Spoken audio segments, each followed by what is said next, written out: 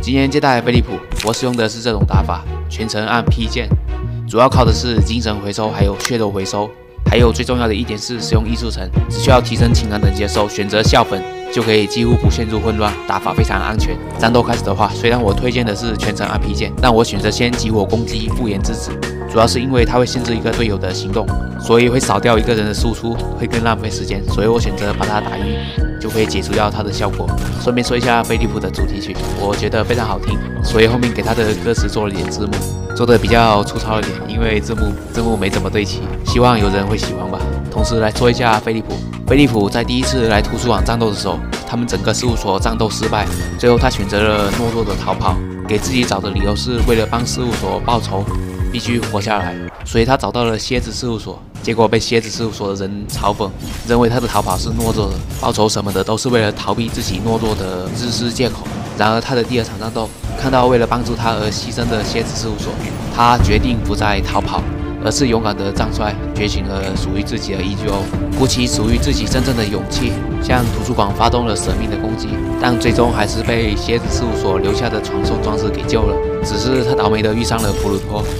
在布鲁托三言两语的诱导下，他那不稳定的自我扭曲了，